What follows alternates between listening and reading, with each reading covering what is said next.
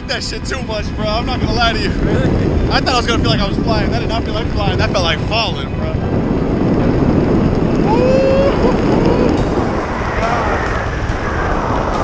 This is nice though. This is nicer than the falling right now. I like that parachute deployed, man.